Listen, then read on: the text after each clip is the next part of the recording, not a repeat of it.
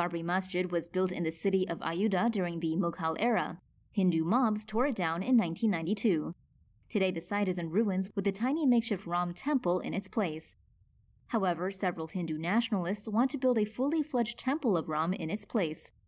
According to the Times of India, the Allahabad High Court previously ruled that the land should be divided in three parts that is, one for the Hindu deity, one for the Hindu nationalist group, and one for the Sunni Waqf board.